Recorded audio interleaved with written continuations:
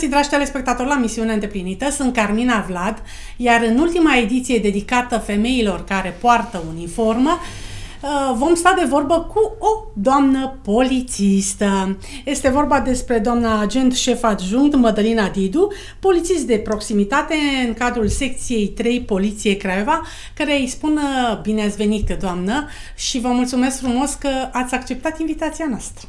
Mulțumesc frumos pentru invitație și bună seara și dumneavoastră și telespectatorilor dumneavoastră.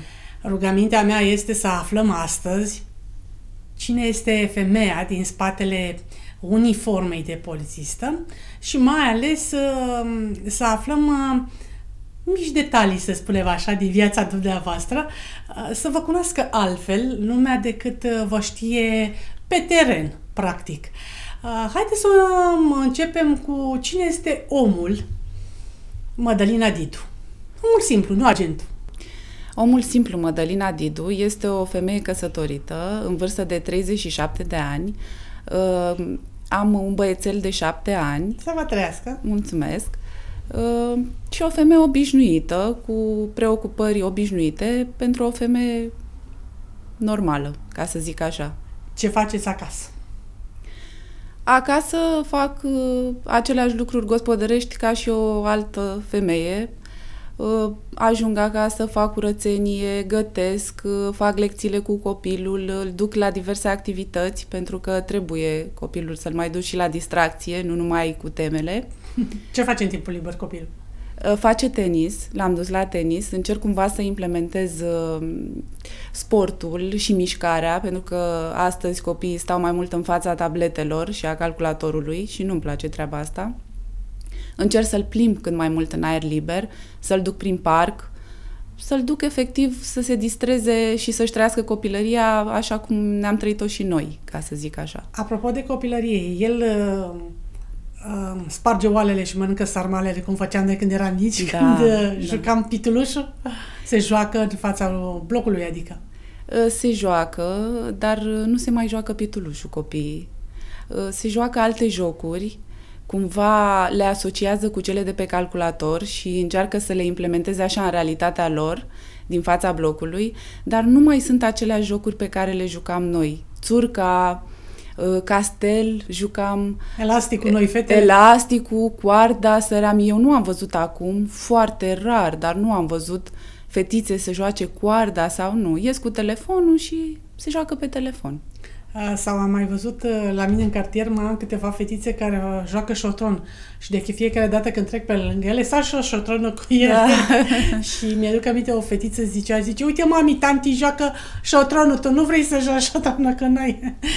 Da. ce mai juca șotronul și ce bine era. Și ce bine era, sigur că Aveam da. o copilărie altfel. Altfel, da. Eu încerc cumva să îl fac să stea cât mai puțin timp la calculatoare, la mediul ăsta nu-mi place atât de mult, adică e bun, dar în limite normale, dar vedeți, el vede și la prietenii lui și e normal, până la urmă trăim în anul 2018. Da, era s-a schimbat. Era s-a schimbat, exact, plăcerile lor sunt altele, dar încercăm așa să le păstrăm și din trecut, anumite jocuri. Da. Um, cam ce jocuri îi inspirați să joace de când erați dumneavoastră copil? Uh, în primul rând îi place să joace fotbal, fiind băiețel.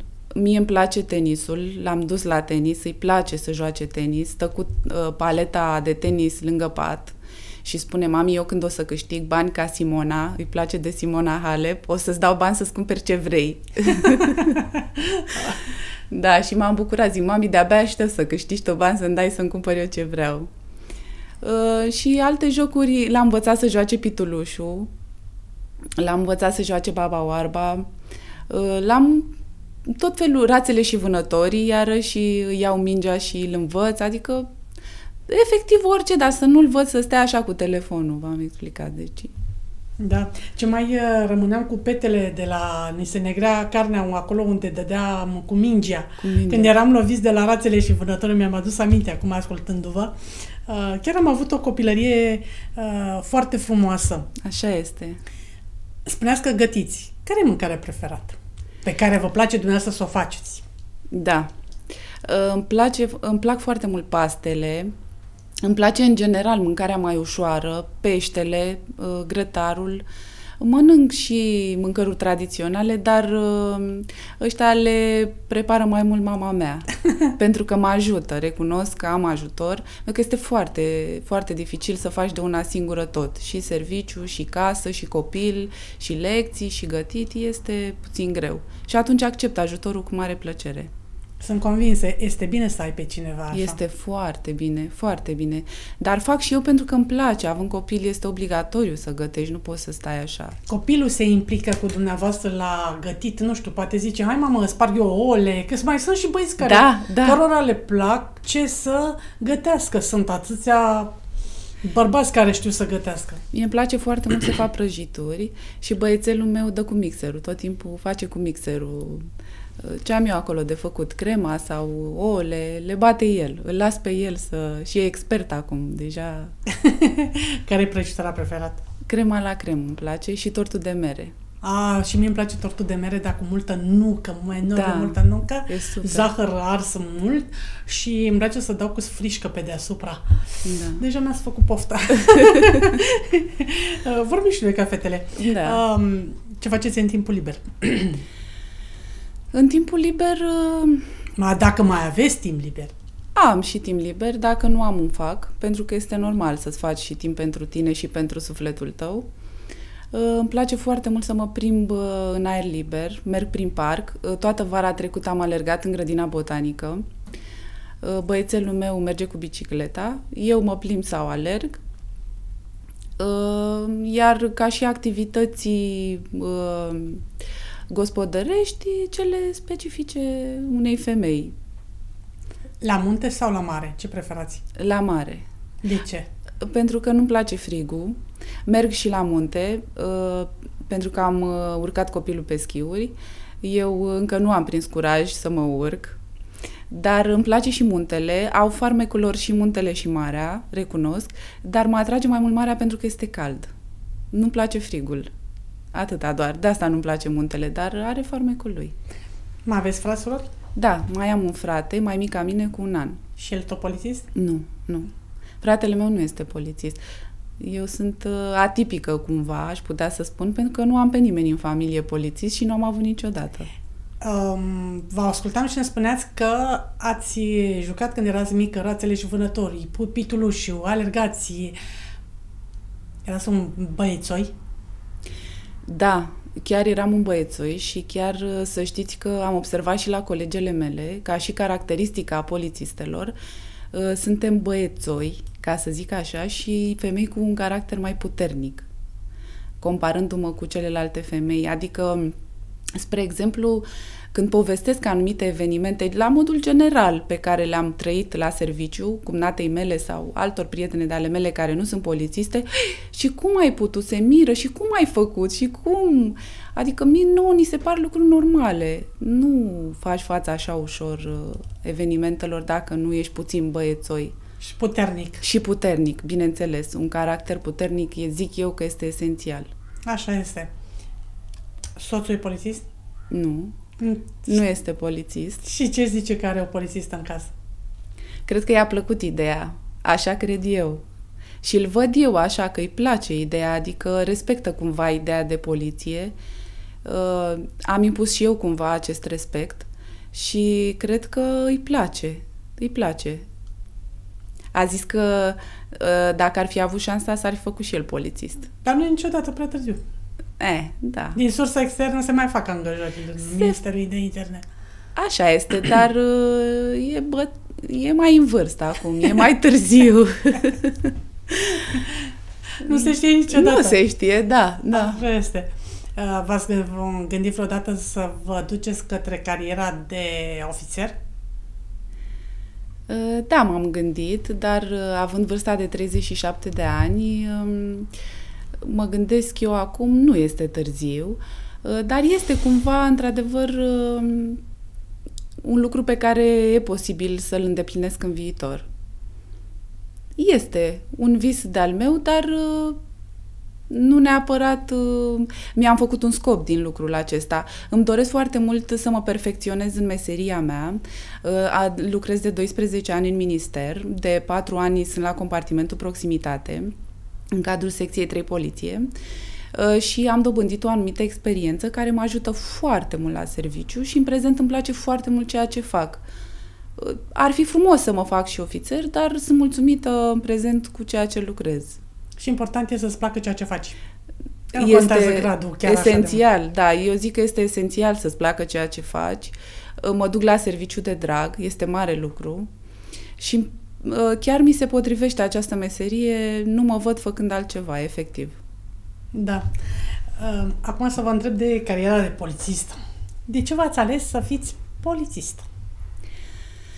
Uh, mi-am ales să fiu polițistă pentru că îmi place, îmi place și uh, meseria în sine, îmi place și uniforma, uh, îmi place ideea efectiv de a prinde hoțul, de a face dreptate.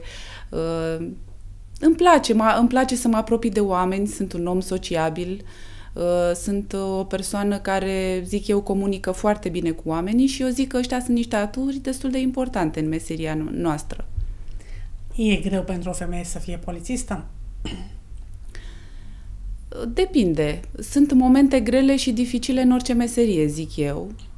Uh, dar dacă ai puțin tact și dacă știi cum să vorbești cu omul, eu zic că reușești să-l duci acolo unde îți dorești. Este greu, sigur că este greu, mai ales ca femeie, dar uh, cu trecerea timpului, Uh, ajungi la o anumită experiență care chiar te ajută foarte mult și nu, nimic nu este greu acum. Acum nu, nu mai este greu. La început, ca orice început. Când v-ați ales uh, această meserie, v-ați gândit cam pe ce, pe, peste ce o să dați? Pentru că o misiune nu seamănă niciodată cu alta.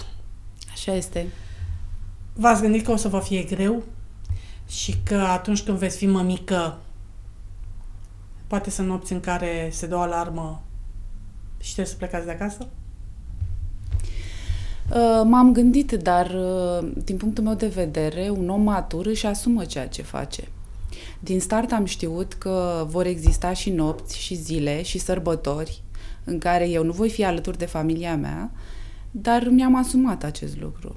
Uh, copilul meu înțelege că mami pleacă de acasă, soțul meu la fel, știe că mai devreme sau mai târziu mami se va întoarce și că e în siguranță oarecum, deși meseria prezintă un anumit grad de pericol. E risc, da. Sigur că da, dar uh, reușim să trecem cu brio peste, colegii ne acordă foarte mult ajutor, șefii sunt la fel de înțelegători, adică cumva uh, cu ajutorul tuturor, colegilor și al tuturor persoanelor din jurul nostru, reușim ca munca noastră să fie uh, destul de ok, ca să zic așa. Și să nu mai facem să fie atât de grea.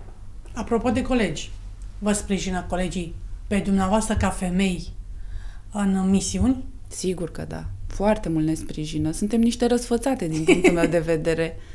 Suntem mai puține ca ei. Câte și sunteți pe secție? În secția noastră de poliție suntem uh, aproximativ 10 uh, cu birourile și cu persoanele operative. Uh, dar uh, ei sunt de 8 ori mai mult. Vă dați seama că suntem niște prințese pentru ei, adică chiar se poartă foarte frumos și chiar nu am nimic să le reproșez colegilor mei. Ziceați că sunteți niște răsfățate. Da. De 1 martie, 8 martie v-a răsfățat? Da. Am plecat cu brațul de flori și cu plasa de mărțișoare, deci chiar am primit foarte multe flori și asta se întâmplă în fiecare an. Nu doar uh, în anul acesta. Deci din fiecare an de 12 ani de când sunt la secția 3 poliție, în fiecare an femeile pleacă cu brațul de flori și de mărțișoare acasă. Dar uh, de la uh, cetățeni primiți? Uh, mai primim mărțișor, uh, floare, dar uh, cetățenii sunt puțin mai reticenți pentru că nu ne cunosc și poate le teamă de reacția noastră. Deși atunci când te duci într-o secție de poliție cu o floare, doamne, am venit și eu să dau și o flor la toate fetele. Nu cred că e un gest urât, să spunem. Sigur că da, nu. nu. Și, și nu, nu trebuie am... să ai reticență. Sigur că da. Și noi ne comportăm frumos cu toată lumea, până la urmă nu ai de ce să fii răutăcios sau să nu primești o floare. E un motiv și un gest foarte frumos, care trebuie apreciat, zic eu. Adevărat. Uh, apropo de răsfăți, când vă duceți într-o misiune și într-o misiune mai grea, da. unde sunt, uh, să spunem, altercații, discuții mai uh, aprinse, băieții vă lasă în, în spate, adică se duc ei, se implică mai mult ei, încă voi, fetele, să fiți protejate un pic de ei? Nu. Eu consider că am fost mereu pe același rând, odată cu bărbații, și tocmai pentru a avea grijă unul de celălalt stăm în același rând. Uh, nu există femeie sau bărbat în misiune. Există doi, trei polițiști, din punctul meu de vedere cel puțin. Cum vă privesc uh, cetățenii? Având în vedere că parcă altfel primești o amendă de la o femeie, nu? sau uh, un da, avertisment decât de la un bărbat. Că la o femeie nu poți indiferent uh, ce s-ar întâmpla, tu ca cetățean, cât ai fi de nervos, părerea mea, nu știu, uh, ar trebui să fii un pic mai calm în momentul când uh, stai de vorbă cu o polițistă. Că la un polițist mau tupeu cu ghilimele de rigoare să mai țipe, să mai ridice tonul, la o femeie cred că nu-ți permis să faci lucrul ăsta. Deși sunt mulți care o fac. Să știți că din punctul meu de vedere, uh, ține de educația fiecăruia. Corect. Am învățat să nu mai am așteptări de la infractori, ca să zic așa. Am așteptări de la mine, de la felul în care eu uh, gestionez situația respectivă. Uh, iar, sinceră să fiu, nu mă interesează cum vorbește, pentru că eu, indiferent cum îmi vorbește el, eu același ton îl am și scopul trebuie să mi-l îndeplinesc. Dacă, îi vorbe, dacă îmi vorbește urât, eu îi vorbesc frumos. În continuă să-mi vorbească urât, la fel de frumos îi vorbesc, în așa fel încât îl fac ca la un moment dat să lase tonul. Înțelegeți? Pentru că n-ai cum să vorbești și tu la fel cum vorbește el. Nu? Ține de educația fiecăruia, zic eu. Dacă atâta poate, așa se comportă el. Ați uh, întâlnit de pe parcursul uh, carierei de polițistă, uh, nu știu, infractori care să ridice mâna la polițiști sau la polițiste? Că mai sunt. Vi s-a întâmplat vreodată? Mai sunt. Uh, da, mi s-a întâmplat, dar nu să ridice mâna. Mi s-a întâmplat uh, la începutul carierei mele, eram la siguranță și patrulare în stradă. Uh, am mers la o persoană agitată care era bolnavă de SIDA și a sărit pe mine, mă rog, în ideea să-mi facă ceva rău. Nu a reușit, dar se mai întâmplă. Uh, evenimentele sunt imprevizibile. Nu știi niciodată ce, ce în spatele ușii, nu știi niciodată cum poate reacționa un om și trebuie să fii mereu uh, atent, să nu ți se întâmple ceva rău. Meseria de polițist, pe cât este de frumoasă, pe atât este de periculoasă. Sigur. Pentru că nu știi niciodată ce se întâmplă. Te duci la o misiune și uh, zici, mă întorc sănătos și poate cine știe ce se întâmplă pe parcurs, pleci rănit sau s-au întâmplat atâtea lucruri în cazul în care au fost chiar polițiști omorâți și jandarmi. Sigur că da. Um, vă e frică? Plecați așa când aveți o misiune de asta mai grea? Aveți alarme, aveți destule uh, misiuni din astea mai grele. Plecați cu o teamă către nu, aceste Nu, niciodată misiuni? n-am avut această teamă, nu. Iar uh, momentele acelea, uh, secundele acelea în care trebuie să iei o decizie, uh, sunt uh, foarte calme în gândul nostru. Te obișnuiești, efectiv. Ajunge să fie ceva foarte normal la un moment dat. Poate la început era o teamă de necunoscut, dar acum sunt foarte familiarizată cu orice fel de eveniment. Indiferent cât ar fi de puternic evenimentul respectiv, am trecut și trec foarte ușor în prezent. Cred că experiența în orice domeniu te învață anumite lucruri și cred că te face să fii din ce în ce mai puternic. Așa este, trebuie să fii puternic în primul rând pentru tine, pentru familia ta, pentru copil, dacă stai bine să te gândești așa când pleci la o emisiune, mă, trebuie să fiu puternică pentru copilul meu, pentru că am un copil acasă de crescut. Sigur că da. Și pentru uh, tine, în principiu, în primul și în primul rând, tu ca om trebuie să te dezvolți de-a lungul timpului. Uh, ai o teamă azi, ai o teamă mâine, dar nu poți să trăiești cu teamă și cu frigă ce se va întâmpla. Nu, Doamne ferește.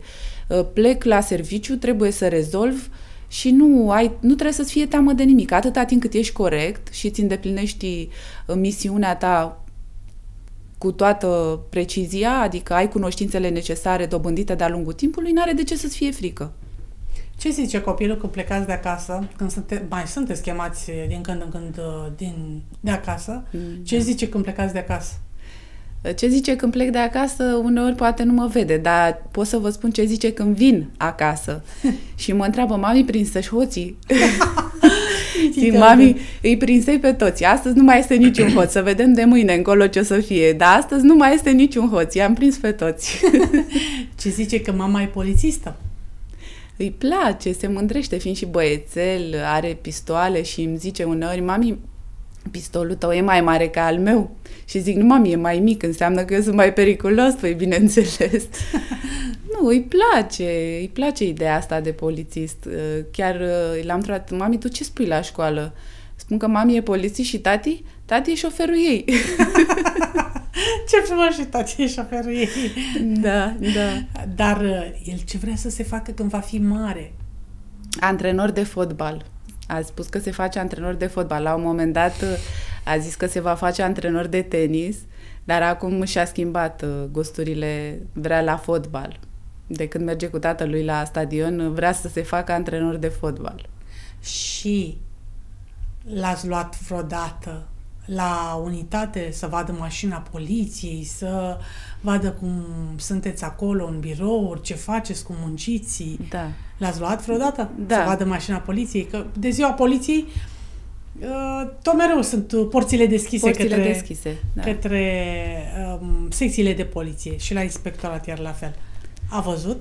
Așa este, de-a lungul timpului, uh, în cadrul poliției se efectuează activități specifice pentru porți deschise în așa fel încât nu numai copilul meu, orice om poate veni în vizită să vadă dotarea noastră, felul în care muncim birourile noastre. Și l-am adus într-adevăr și eu într-o zi pe fiul meu. Uh, și îi plăcea așa, nu era teamă, nu, deloc absolut. Uh, i-am spus că o să-i arăt într-o zi și închisoarea, Arestul. Arestul, da, sigur. Bine, așa îi zic eu lui închisoarea pentru vârsta lui. Dar îi place, îi place. Cred că tuturor băieților le place ideea de polițist, zic eu, la mai ales la vârsta de șapte ani.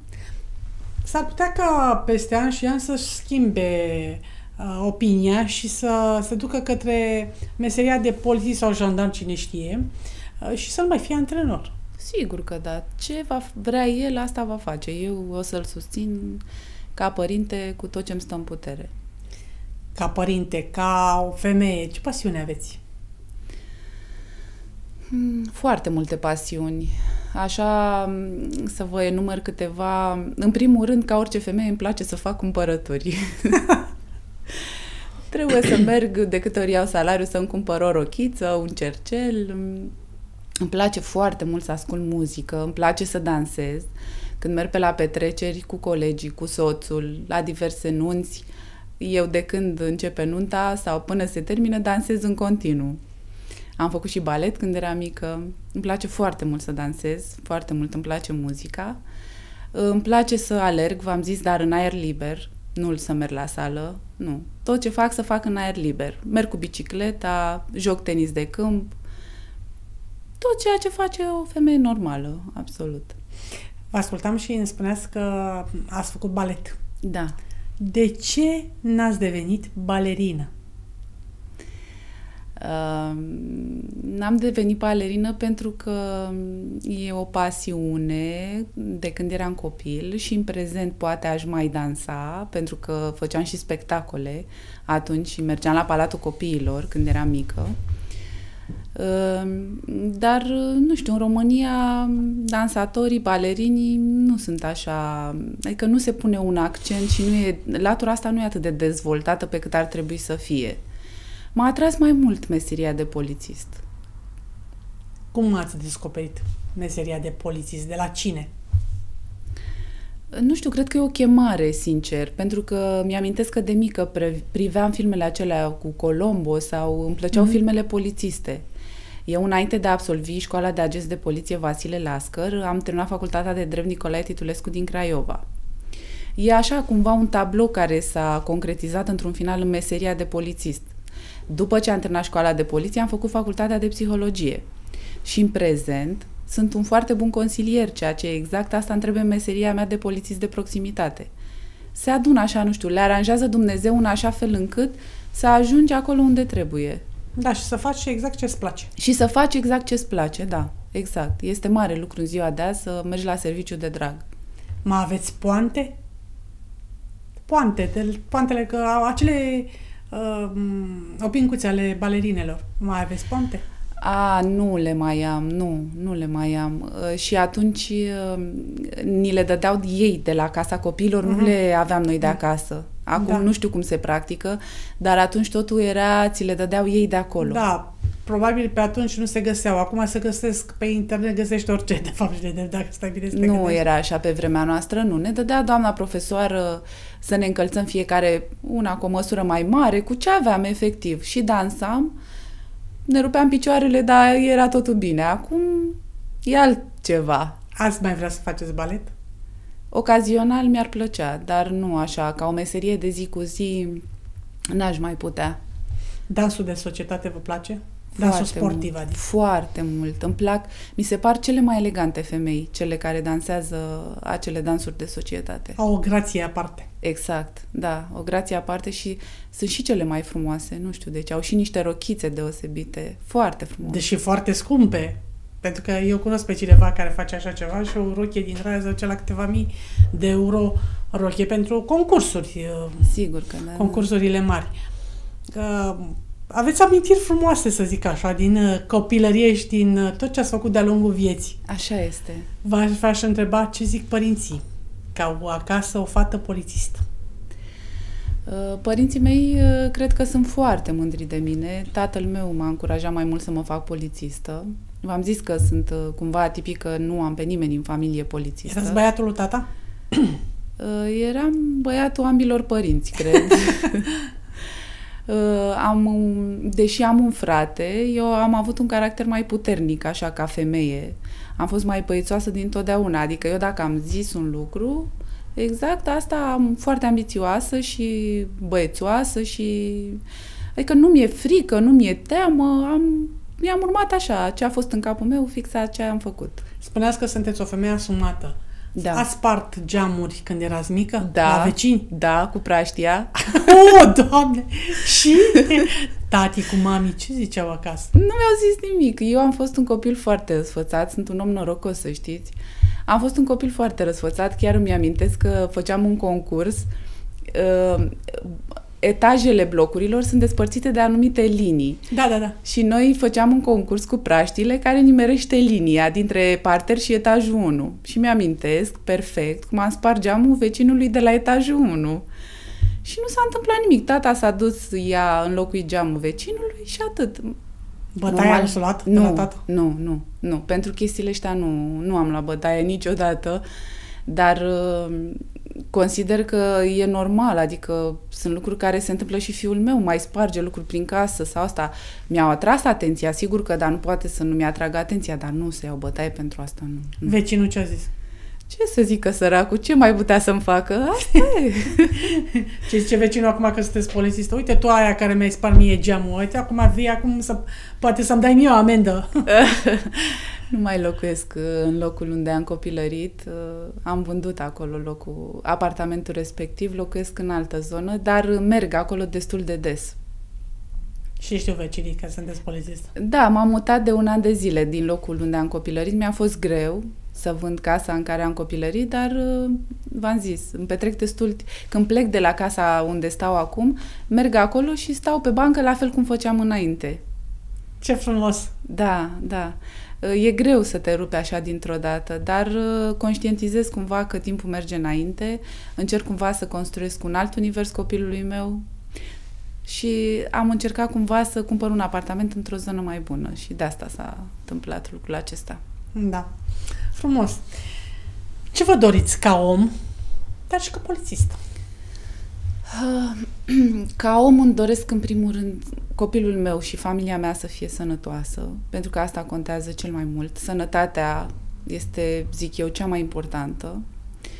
Îmi doresc uh, să fiu un om liniștit, să fiu un om împăcat, iar în meseria de polițist îmi doresc să ajut foarte multă lume care chiar are nevoie de ajutorul nostru, pentru că sunt persoane care, într-adevăr, au nevoie de sprijinul pers- poliției, efectiv, și să mă perfecționez în meseria mea, uh, acțiunile mele și activitatea mea să aibă o finalitate pozitivă. Consider că este esențial acest lucru.